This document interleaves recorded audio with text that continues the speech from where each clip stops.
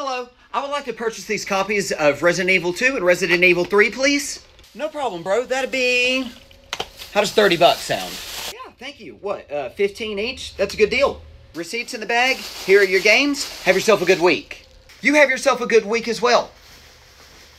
Hello, I was wanting to know, could I be able to sell my Xbox One Call of Duty edition, please?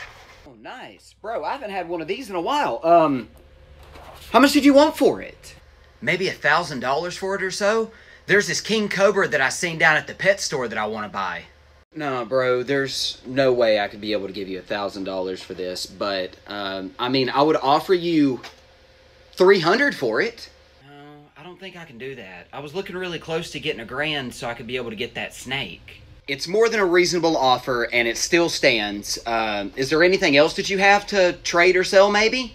Actually, I do. I have a copy of MTV's Pimp My Ride for the Nintendo Wii. Does that help me get closer to my thousand dollars? I mean, it helps a little. It's like a two dollar game. Okay, I have this copy of the X Files on VHS. Does does that help? No, no, it doesn't help. I mean, nobody really buys VHS anymore unless if you're a collector.